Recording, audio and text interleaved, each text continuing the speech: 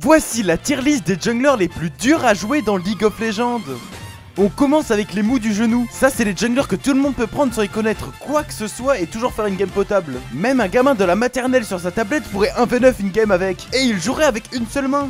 Puis on a les Sava. Comme dit le nom, c'est pas le stress de les jouer, c'est pas trop facile ni trop dur. C'est des junglers de qualité quoi. Ensuite on a les fraudes. Ça c'est les junglers qui ont l'air durs à jouer alors que pas du tout. Et oui je parle bien de toi aussi car tout le monde pense que tu es skillé mais t'es une fraude totale. Ils ont souvent plein de combos mais tu vas te retrouver à spammer que un seul combo dans toutes les situations possibles.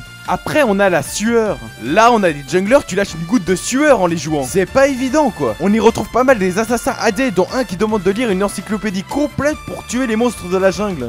Enfin, on a l'impossible. Oui, oui, tu vois bien, il y a que Nidali. Car j'ai jamais réussi à faire une game potable sur le champion en plus de 20 games. J'ai fait que rundown avec. Et même quand j'arrive à mettre le combo entier, ça one shot pas. On dirait même qu'une Yumi crit fasse plus de dégâts en fait.